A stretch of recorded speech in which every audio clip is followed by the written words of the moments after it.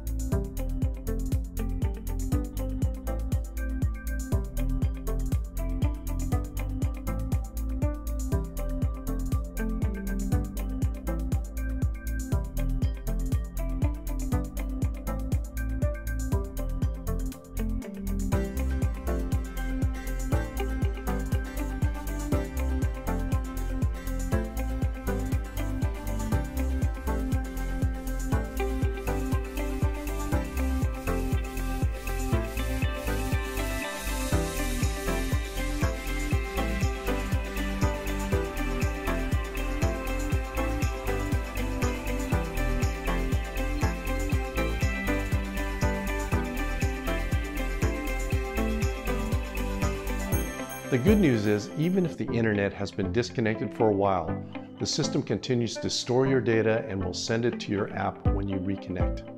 For more information about your Enphase system, the app, and the energy management tips, be sure to check out the rest of our videos on our Enphase 101 series on enphase.com or on our Enphase Training YouTube channel. Thanks for watching.